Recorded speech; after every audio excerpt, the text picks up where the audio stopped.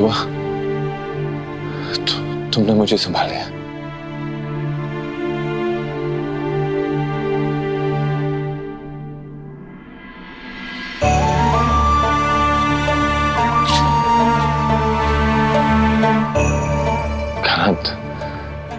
तुम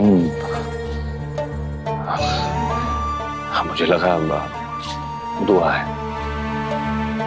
वो क्या है ना कि जब भी मुझे ठोकर लगती थी तो दुआ ही मुझे संभालती थी। इसलिए मुझे लगा कि खैर, कोई बात नहीं। दुआ भाभीियों पर दुखों का पहाड़ टूटा था ना भाईजान? तो बहुत शिकायतें थी मुझे आपसे।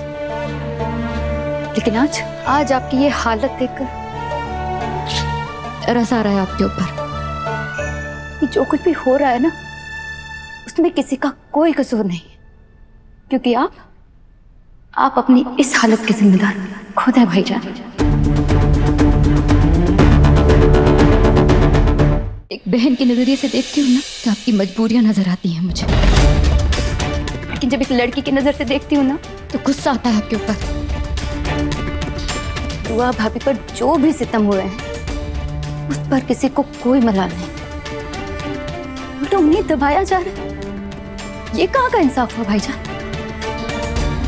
आपको सुनकर शायद बुरा लगे। लेकिन मैं सिर्फ़ और सिर्फ़ दुआ भाभी के साथ हूँ।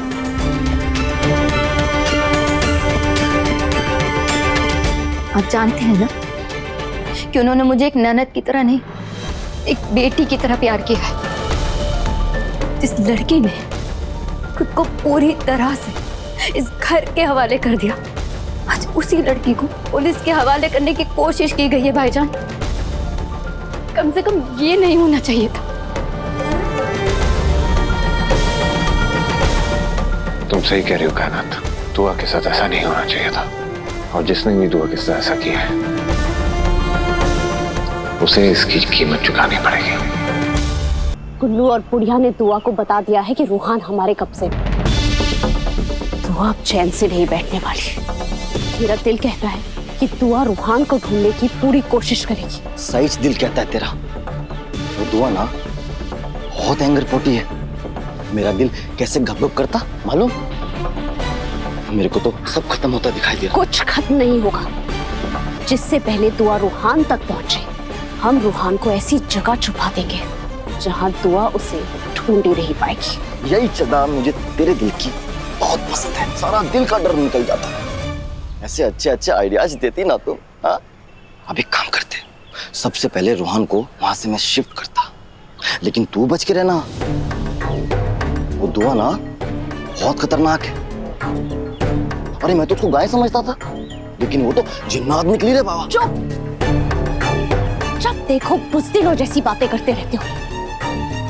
देख क्या रहे। हो जाओ, रूहान को वहाँ से हटाने का प्लान बनाओ।